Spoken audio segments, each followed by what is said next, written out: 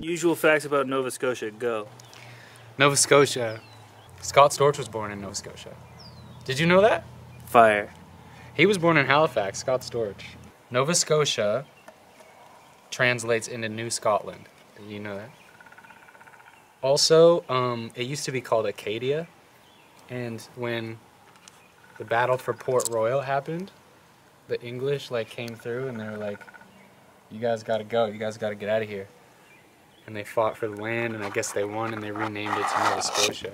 You know where they kicked it? You know where everybody uh, like left from Nova Scotia? Yeah, they went down south to like where is it? Like Mardi Gras. Where's that? New Orleans. New Orleans. Um, you know, one of them that went down there to New Orleans, he uh, he was a man, and then he had a family, and then they had a family, and they had a family, and then somewhere along that family line, they had a daughter named we know her now as Beyonce.